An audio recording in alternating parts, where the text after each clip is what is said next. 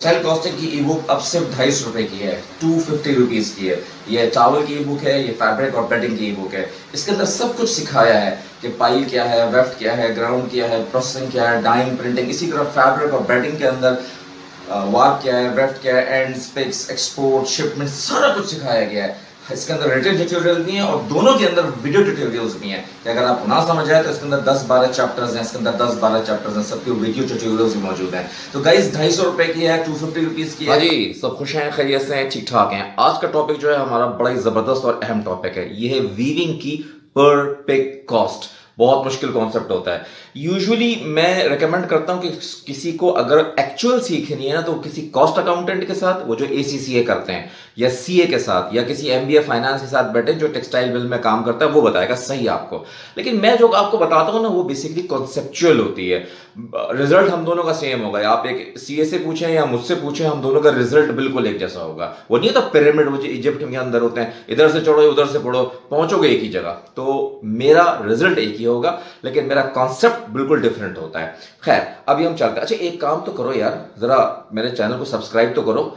एक लाख सब्सक्राइबर हो जाएँगे तो मुझे वो मिलेगी जो शील्ड होती है सिल्वर पाकिस्तान का पहला चैनल होगा टेक्सटाइल का, जिसको ये शील्ड मिलेगी टेक्सटाइल का चैनल वैसे तो है और बहुत से लोगों को तो फटाफट सब्सक्राइब कर लो। दूसरी बात, मेरी ई बुक्स देखी है? क्या ज़बरदस्त आहा एकदम बेहतरीन, कंचा पीस एकदम आहा देखो तो जाके उसमें वीडियोज़ हैं उसके अंदर, कितने चैप्टर्स हैं वीविंग डाइंग प्रिंटिंग ये, वो, फला डिमागा एक्सपोर्ट शिपमेंट कॉस्टिंग सारी कर सकते हो। और अगर कुछ चीज़ नहीं समझ आ, लिखा हुआ है, नहीं समझ आ रहा क्लिक करो वीडियो है वीडियो पॉपअप हो जाएगी। आप वीडियोस में देखो क्या औसम बनाई है। अच्छा इसके अलावा मेरी एक्सपोर्ट की कंसल्टेंसीज होती हैं और दूसरी कंसल्टेंसीज होती हैं, तीन हज़ार रुपए लेता हूँ ऑनलाइन के फ़िज़िकल के चार, साढ़े चार हज़ार रुपए लेता हूँ। आसान कर दिया है। फजर की नमाज़ के बाद मैं तकरीबन कोई पौना घंटा मतलब इधर उधर ऐसे ही इधर उधर लोड करा होता हूँ तो उससे बेहतर है कि मैं कंसल्टेंसी कर लूँ।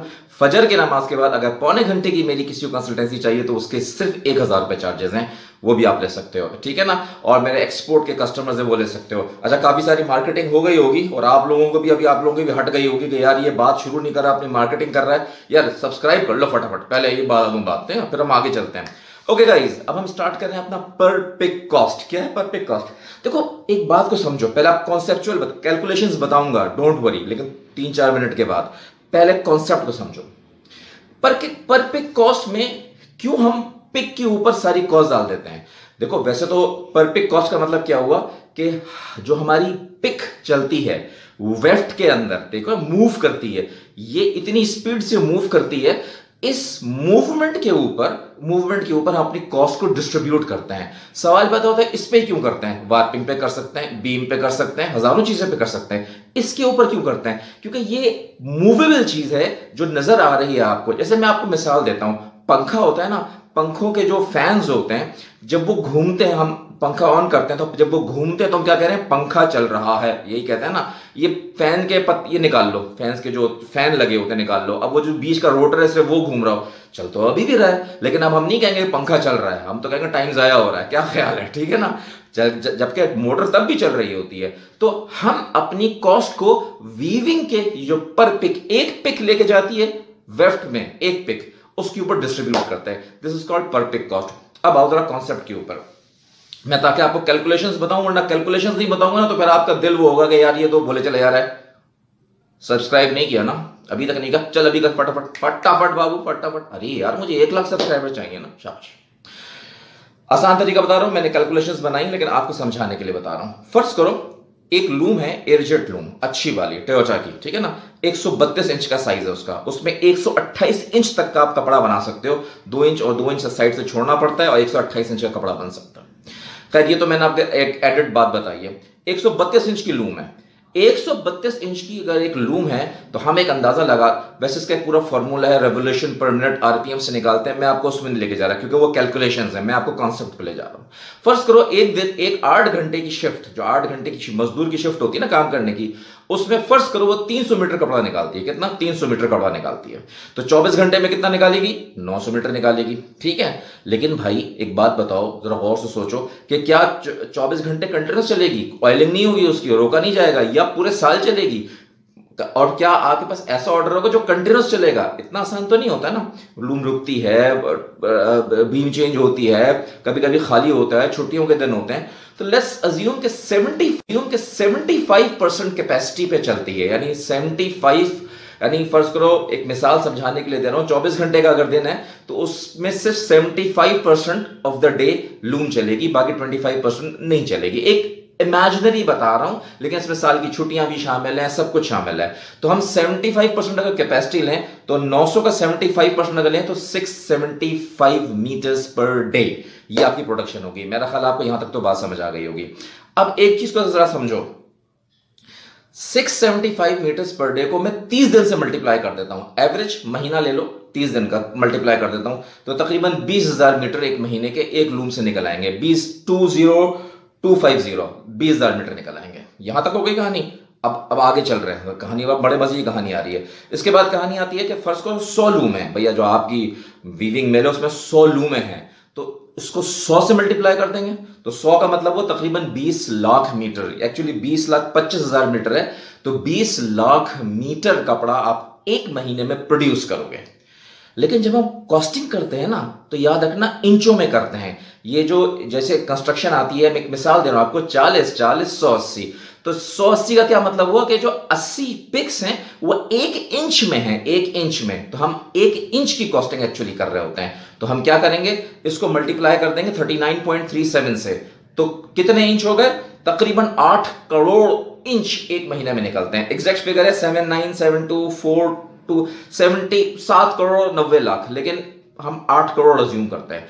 आठ करोड़ इंच एक महीने में हमारी प्रोडक्शन होगी। अब मीटरों में नहीं आ रहे हैं, अब हम इंचों में आ रहे हैं। इसको समझना बहुत ज़रूरी है।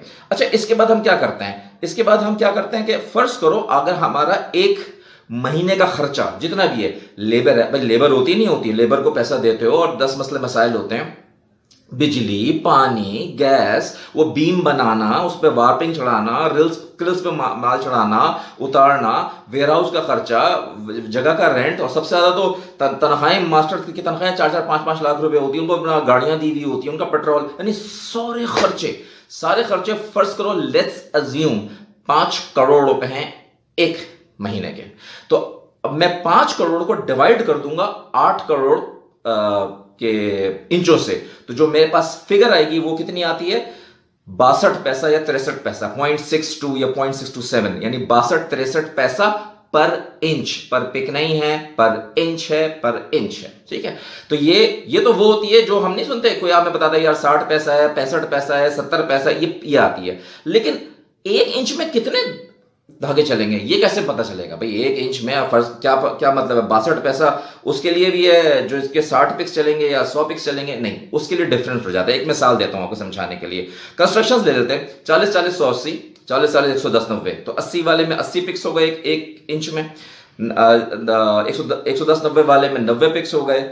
पचास पचास एक सौ बीस सौ पचास पचास एक सौ तीस एक सौ दस इसमें सौ और एक सौ दस पिक्स हो गए साठ साठ एक सौ चालीस एक सौ बीस साठ साठ एक सौ पचास एक सौ तीस ये मेरी इमेजिनरी कंस्ट्रक्शन हैं मार्केट में पता नहीं चलती नहीं चलती मुझे नहीं पता तो ये ये अब इनकी मैंने एवरेज ले ली ये फ़र्स्ट फ्लोर छह कंस्ट्रक्शन चलती हैं यूजुअली एक मिल के अंदर एक मिसाल दे रहा हूँ इसकी एवरेज ले ली तो 105 पिक्स बन गए अब मैं क्या करूँगा ये जो मेरा बासठ पैसा है तिरसठ पैसा आया है इसको 100 पाँच से डिवाइड कर दूँगा तो ये point double zero five nine seven three एक पिक की कॉस्ट आ गई। अब फ़र्ज़ करो, एक मिसाल दे रहा हूँ समझाने के लिए कि मैं कंस्ट्रक्शन बना रहा हूँ चालीस चालीस सौ अस्सी। तो point double zero five nine seven three को अस्सी पिक से मल्टीप्लाई कर दूँगा तो तकरीबन अड़तालीस पैसा आ गई कॉस्ट आ गई, ठीक है ना? और अगर फ़र्ज़ करो पचास पचास, एक सौ तीस, एक सौ दस मैं एक सौ दस पे करूँगा तो छियासठ पैसा आ जाएगी। इसी तरह साठ साठ, एक सौ पचास, एक सौ तीस, यानी एक सौ तीस पिक से करूँगा तो सेवेंटी एट पैसा आ जाएगी। ये वो होती है जो अच्छा याद रखना कॉस्ट है कॉस्ट है सब्सक्राइब किया, नहीं किया, अभी कर अभी कर। अभी यार, इतनी सारी बातें बोल रहा हूँ, इतना तुम्हें ज्ञान बांट रहा हूँ, इतना सारा मवाद दे रहा हूँ। सब्सक्राइब क्यों नहीं करते? करो सब्सक्राइब और दोस्तों में शेयर करो, ठीक है ना? अच्छा याद रखना कॉस्ट है। वो नहीं है प्रॉफिट नहीं है इसे प्रॉफिट डाल दो अपना जितना भी। ये कॉन्सेप्चुअल वो, ये वो चीज़ है जो आपको लोग कहते हैं कि तीस पैसा पैंतीस पैसा, अस्सी पैसा, नब्बे पैसा जो लूम की कॉस्टिंग होती है ना, ये उस तरह से। इसी के power loom shuttle less air jet less rapier water jet सब पे इसी तरह होता है। फॉर्मूला चेंज नहीं होता। ओके गाइज़ ये क्या है मेरा? टेक्सटाइल यूट्यूब चैनल है, किसके लिए बनाया गया? आप लोगों के लिए बनाया गया और आपने क्या करना है, इसको लाइक करना है सब्सक्राइब करना है, और इसको दोस्तों में मशहूर करना है। ओके जी, अपना खास ख्याल रखें। मेरा नाम नुमान अहमद है। साइनिंग